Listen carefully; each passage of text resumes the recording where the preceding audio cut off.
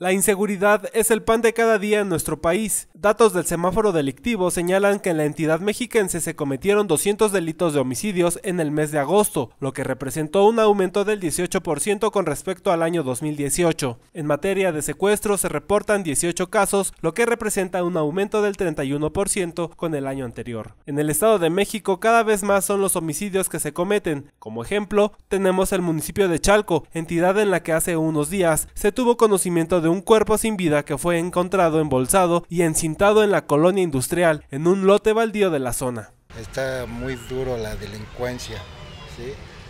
Y, ya las personas que tenemos en el gobierno pues están haciendo caso omiso. Deberían de las, ¿cómo se dicen? Las fiscalías o que estén más integradas, ¿sí?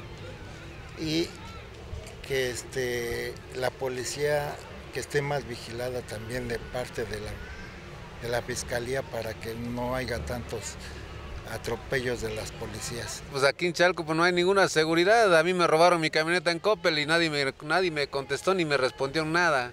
Realmente después de las 9 de la noche, inclusive en la noche, eso fue, eso fue en el día. Eso fue en el día.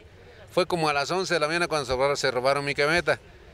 Pero en el, después de las 9 de la noche, Chalco tiene una mala, mala mala, mala, ahora sí que no hay seguridad en nada, en ninguna calle, en ningún municipio. Aquí no hay ninguna patrulla porque está limpio todo.